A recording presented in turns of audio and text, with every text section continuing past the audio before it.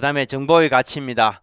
어, 안드로이 올레라는 학자가 정보의 가치는 공공적 가치와 상업적 가치, 개인적 가치 뭐 이렇게 구분했습니다. 그래서 우리가 뭐 이걸 좀 살펴보도록 하겠습니다. 개인적 가치는 개인이 개인적으로 이용할 목적으로 관리하는 그런 정보를 개인적 가치다 이렇게 얘기합니다.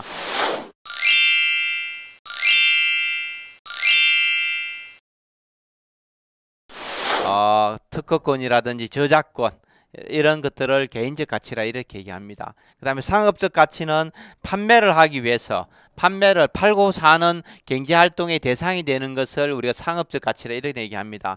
책이라든지 서적, 신문, 방송 뭐 이런 것들이 상업적 가치다 이렇게 보시면 될 것 같고요. 공공적 가치는 어, 정보의 자유로운 유통체가 확립될 수 있도록 일반 모든 사람들이 자유롭게 볼 수 있는 이런 얘기입니다. 도서관이라든지 학교라든지 박물관 아, 이런 것들이 어, 공공적 가치다 이런 얘기합니다. 그래서 어, 정보의 가치 이런 것들이 딱 뭐 일반적으로 어, 세 개가 있으면 객관식 시험 문제 내기 굉장히 좋고요.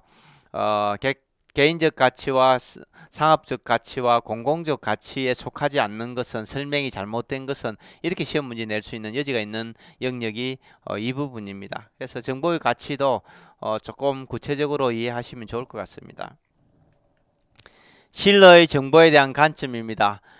정보 이론적 관점, 정보 사회론적 관점, 정치 경제학적 관점 이렇게 얘기를 했습니다. 그래서 우리가 뭐 어, 정보에 대한 관점 부분들이 뭐 어찌됐건 어, 조금 간단하게 이해를 해보도록 하겠습니다. 정보 이론적 관점이다.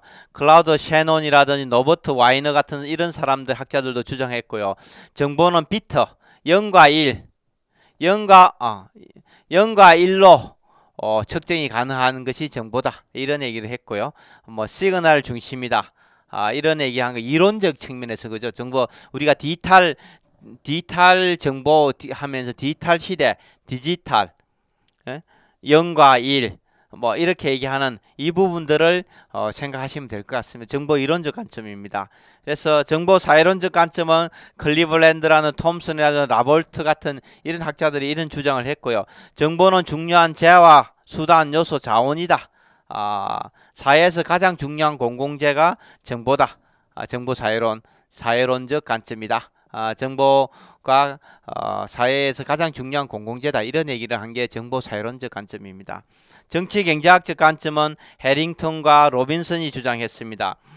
정보는 단순한 자원이 아니라 상품이다.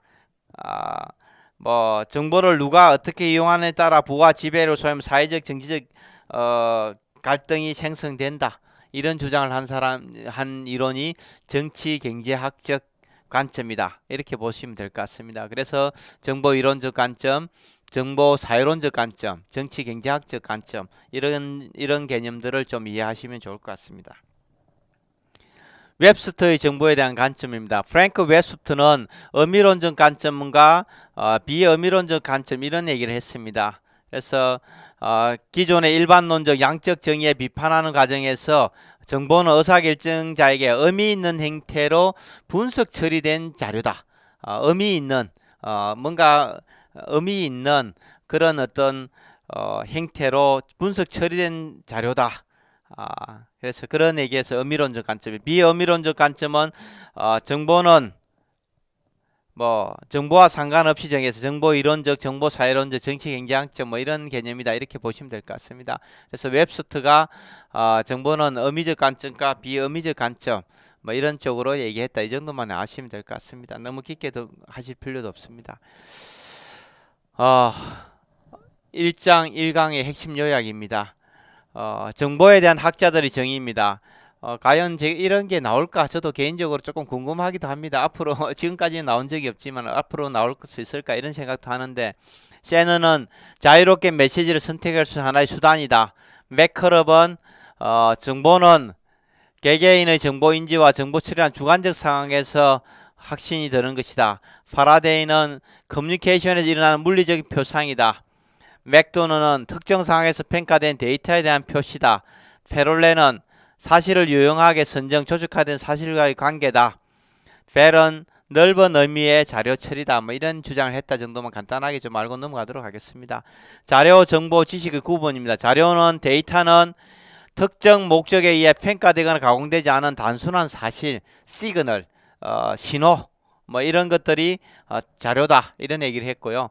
정보, information은 어떤 진상에 대한 수립, 처리 및 어, 수집 및 처리된 것이다. 뉴스 이런 것이 정보다. 지식은 어, 인간의 이해와 분석을 통해 정제한 정제한 결과물이 어, 지식이다 이렇게 얘기를 했습니다.